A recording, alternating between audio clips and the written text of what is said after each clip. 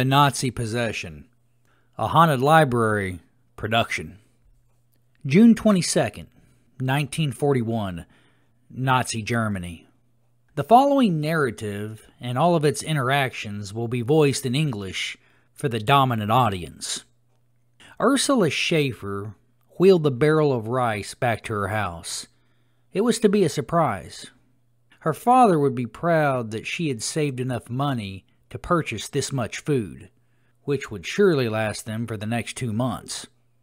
Still reeling from the loss of World War I, the country as a whole was still paying their dues to the Treaty of Versailles, a promise to downsize their army as prices for food skyrocketed.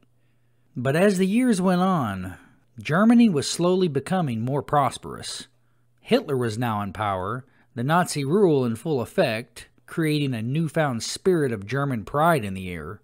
Finally, after years of enduring a poor economy, things were finally beginning to pick up for Germany, and for 18 year old Ursula and her family. She pushed the barrel to her backyard. Her house was on the outskirts of Berlin. Her mom spotted her from the kitchen window and went outside to meet her. Your daddy is sure going to be proud of you, she said to her daughter. Bless your heart. Let's get this rice inside and cook some for tonight's dinner. Ursula hugged her mom tight before they both worked on packing the rice. It was a warm, beautiful day. A good day to be alive if you were German and a Nazi, like the Schaefers. Before Ursula's father made it home that afternoon, Germany had begun to invade Russia in Operation Barbarossa. One month later, Ursula bit her lip as she watched German propaganda commercials from her black and white television where she worked at a local clothing resale shop. Since Germany's intrusion into Russia, most Germans were confident and stood behind their aggressive leader, Adolf Hitler. If you were a Nazi, you had no choice. She flipped her long, dark hair behind her ear and blew a bubble from the mouthful of chewing gum she had been munching on for the past hour. She chewed gum when she was nervous, and she would bite her lip in these times, too. She secretly never fully believed or agreed with the rumors of what the Fuhrer and the Nazis were doing killings of innocent Jews, the shunning of Jews, and the invasion of Poland. She knew the reason Germany was in this mess to begin with was the Jews' fault, because according to Hitler, they alone were responsible for losing Germany the war in World War I.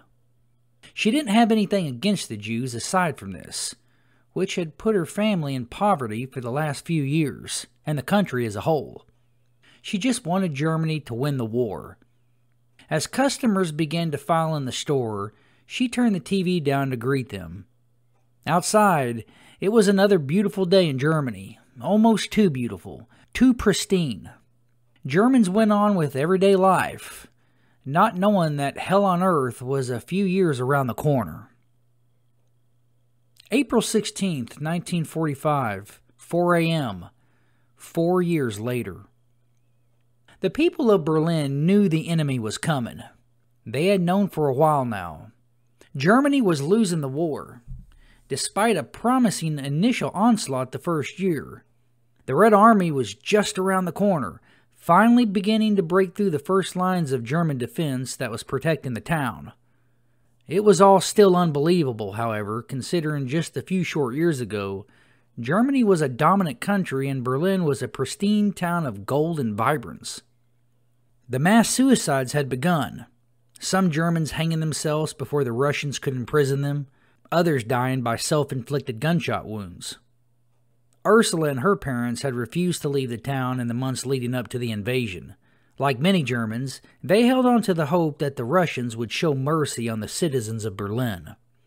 Hunkered down in their home, they could hear gunfire. Today was the first day they had heard it. The shots had started early that morning and had continued all afternoon. Holed up in their home, they waited for the inevitable. There had been a lot of crying throughout the night by all three members of the family as uncertainty drew closer. But never was there any mention or word of suicide in this family. 10 p.m., same day. A small group of Russian soldiers from the 1st Belarus Front surrounded the house that sat in the middle of the hayfield just outside Berlin. The men were near exhaustion and were very hungry. This would be the first house this group would visit that night, but not the last. Inside, Ursula could hear the men outside as they made their presence no secret. She clung to her parents in a back bedroom. The soldiers easily kicked in the front door, and Ursula screamed for the first time that night. It wouldn't be her last. The group of four men made their way through the home until they came to the back bedroom to see the family cowering in a closet. They were ordered out of the closet and met with guns to their faces. Ursula, sobbing and shaking uncontrollably, stood. She was yanked away from her parents. Her mom screamed now, putting her arms out for her daughter. She was slapped so hard she nearly passed out. Ursula was brought to another bedroom where she would be raped throughout the night. Before leaving the house in the early morning hours, the soldiers had decided to kill her by strangulation, leaving her parents to weep over their daughter's disgraced and abused body. Two days later, Berlin, 1 a.m. The following narration is told from the central character's point of view in the story. Tony Bailey was among the first of a small group of Americans to reach Berlin on the east side of town. Here, there was only small signs of recent gunfire and small battles. A large open field lay ahead of him and his two comrades. They had broken off from their first U.S. Army patrol group when they'd gotten caught off guard by German gunfire a mile from Berlin. Unable to relocate their patrol group, they stayed close together and hunkered down as they walked, sometimes crawling when necessary. Tony was 22 and engaged to be married to his fiancee who was back in Alabama. They had one kid together who was two months old. The sudden deployment had been hard on both himself and his soon to be wife. After the attack on Pearl Harbor, the U.S.'s involvement in the war was inevitable, and Tony's group had been pushing hard through Germany for the last two months. But as their target was nearly in sight, that being Berlin, tragedy struck as he and his partners were again caught off guard by German snipers and taken captive to a small underground bunker that housed eight jail cells. The conditions of the jail like bunker were terrible, it was obvious the Germans had built it specifically for possible captures. The floors were mostly of plywood and dirt. The cells were cold, the bars solid. The Americans had been roughed up before being thrown in. Since, they had been provided little to no food through the bars. They had been drinking their own water and were very weak. Tony was no longer able to get a letter to a boat to be delivered home, but he wasn't worried about himself as much as he was worried about his fiancee worrying about him. After the third day, around noon, a group of five Russian soldiers were led into the remaining cells. Tony watched as they were shoved from behind by the Nazi soldiers, one by one being led past his cell down the small, dark, damp, cold hallway. One German soldier used the butt of his rifle against the back of one of the Russians' head, nearly knocking him out. It was obvious the Germans were much more hostile towards the Red Army than they were the Americans. In a few minutes, the Germans walked past again on their way out, spitting in Tony's cell. He ignored it and kept quiet. He could now hear gunfire outside in the distance. His thoughts kept going back to his newly born daughter and the woman who he missed dearly. He fell asleep that night to the sound of the Russian detainees bickering and talking. He couldn't understand what they were saying, but whatever the conversation consisted of, it was heated. Like Tony and his group, the Russian soldiers were obviously disgusted and scared of being captured by the Nazis.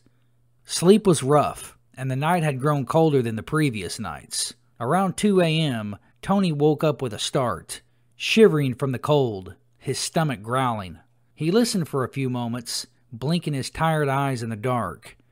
Outside there was no gunfire or commotion, but something had woken him. After a few minutes of silence, a noise came from down the hall. It sounded like a sloppy, messy type of noise, like a dog was lapping up a pile of discharged mush. He finally sat up, his back aching. The noise came again. He stood and grabbed the bars to his cell. He called out softly to the cell to his left where his friend Matt was. Hey, man, wake up! Did you hear that? He got no answer, he could barely hear Matt snoring. Matt, wake the hell up! Matt woke this time and answered. I keep hearing some weird shit down the hall, towards those red cells. Matt listened, then confirmed the noise. Matt listened, then confirmed the noise. The sounds began to grow louder. Now it not only sounded like somebody were eating something, it sounded like whoever was doing the eating was beginning to moan, and the sound sent chills down Tony's spine in ways nothing in the war had. Another few moments of silence. Then the sound came again, and this time it was moving closer to his cell. It stopped just short of his sight in the darkness. He aimed his light to the left corner of the cell, illuminating the hallway. He thought about hollering at the Russian soldiers, but thought better of it. He didn't know if the Germans had let a wild animal loose in here, or maybe one of the Germans had crept in here tonight to kill the captive. Tony didn't fall asleep again that night. For hours, he listened to the faint sounds of something near the floor, just beside the left side of his cell, slobbering and salivating like a rabid dog, but in a very hushed tone. Whatever it was, was just out of sight from his light. Dear Becky, the letter began, it's me again. I am still captive in this shithole of a jail. I don't know if they are going to shoot us or have us starve to death. I'm hungry as hell, but my hunger for missing you burns deeper. I don't know if these letters will ever make it to you, but I at least have to try. If I get out of here alive, I will find a ship and get them across the ocean. I have a bigger problem now. I can only hope some of our soldiers or the Red Army will come, find us, and free us. Somebody is killing the men that are in here with me. I think it's a rogue German soldier who is sneaking in at night. If I had a gun, I would blow him away, but as I said in yesterday's letter, we are all stripped of our weapons. Last night they drug out the bloody body of a Russian soldier who was four cells down from me. A group of Russians were captured and are in here with us. I have to go now. Just know that if this letter sees you, and I don't, Always know that I love you and take care of our daughter. Please kiss her on the cheek for me. I love you both. Your soon to be husband, Tony. On the fourth night, Tony again heard gunfire sounding off. Having no idea what it was, he could only speculate it was dark. He had completely lost track of time and had spent most of the day writing letters to his fiancée and talking to his comrades in the cells to his right. Another friend had been placed in the cell directly in front of Tony's. Between them all, they were helping one another from going insane by staying positive.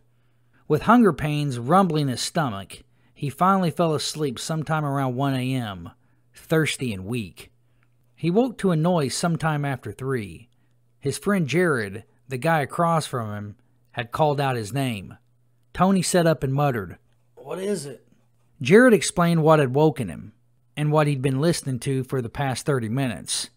The two men stopped whispering when the gargling noise came closer. They both shut up and listened. There was no noise from the Russian cells. Without saying another word, Tony sat back down on the floor and continued to listen. The sound of bars began to squeak, like the opening of a cell door. He stood, the hair on the back of his neck tingling. Somebody had opened a cell door where the Russians were. Noise came closer. It was heavy breathing and hissing. A scream erupted from one of the Russian cells as he blurted out what could only be taken as profanities from fear. The screams continued as the sounds grew louder. Suddenly, something totally different began to scream too, something with a much deeper, horrifying sound. Tony's breathing grew erratic as he began to panic. Something had just killed another Russian soldier, and whatever it was had woken at least one of the others. Tony panicked, pacing the cell, talking to all three of his friends. The thing in the hallway slithered around, hissing and gurgling. It slithered up to Tony's cell and looked in, and Tony jumped back. His friends began to holler out, as did the remaining Russians. Tony could tell that the figure was slender and small. It had black, stringy hair and a face of a human, the face of a girl, the body of a girl, but the eyes of a demon, the skin of a demon, and the mouth of a bloodthirsty lion. Suddenly she stood, shaking the bars to his cell violently. A type of fear ran through Tony that he had never felt in the war. It was a feeling of the unknown and disbelief. He knew had the thing outside his cell wanted to, it could have came in to kill him. He braced himself for an attack, his heart rate going through the roof. But as soon as he had stiffened up, she had flopped back to the floor and slithered back down the hall in the way that she had come from. What the fuck was that, Tony? asked Mickey, his friend directly to the right of his cell. Tony, in shock, only listened as the bars to his cell down the hall opened and screams of bloody murder began to erupt again. The now demonic entity of Ursula Schaefer began to attack the next Russian soldier who had raped her nearly a week ago. It was a mismatch her speed and power versus his weakened body, in the same way her merciless rape had been a mismatch. Her evil attributes that she had accepted minutes after her spirit had left her body was on full display now. She straddled him as he flung his hands in a pathetic attempt to protect his face. Her bottom jaw opened longer than it ever should have, revealing a monstrous mouth of jagged teeth and bloody gums. She lowered her head and began to eat his neck, taking a bite out of his jugular as he convulsed, his legs shaking and his hands flopping around in his untimely departure from the living. She continued to growl and snarl as she ate, finally finishing 90% of his intestines and internal organs before choking the last breath of air from his lungs, crushing his neck with her force. The cell was covered in pools of blood that seeped out into the hall. The Russians that were still alive from that faithful group were also eaten that night, one by one, until Ursula had fulfilled her restless spirit with revenge. As she slithered out from the last cell in the late morning hours, the Red Army had taken full control of Berlin. She passed the cells, looking at each American on her way out. The men stood frozen in terror, haven't heard the gruesome pleas and screams of the Russians for the past three hours as they were eaten alive. She scooted to the door, then stood, passing straight through it. Once outside into the darkness, she went straight for the tree line and faded into the woods. She covered the distance of over a hundred yards in just three seconds as her figure dissipated into the night. There would be plenty of other unexplainable, unimaginable deaths in the next few weeks. None of the deaths were consistent with gunfire, however. It was as if something had eaten the soldiers. The victims were all members of the Red Army. Two days later, the men in the underground jail were finally rescued by a large group of American soldiers. They were all on the verge of kidney failure with extreme dehydration, and all three were still in a state of shock. But Tony had survived not only the war, he had survived a hungry demon. Six months later, Tony arrived home in the USA to his wife, to his kid, to his family. He would waste little time in marrying the woman of his dreams this time, trying to leave the war behind him, trying his hardest not to think about what happened those few nights as he was enclosed against his will with something that had sold its soul to Satan, in return to seek revenge on any soldier that bore the Russian badge. To this day, over 70 years later, Russia is still reporting unexplainable deaths in the dense mountain regions. The demonic entity of Ursula has been spotted several times but never caught on camera. The Nazi girl comes like a thief in the night, like the man who took her innocence, the man who took her life. She comes with ruthless abandon and always leaves with a meal, as she is bound to earth for eternity to seek revenge on the unsuspecting.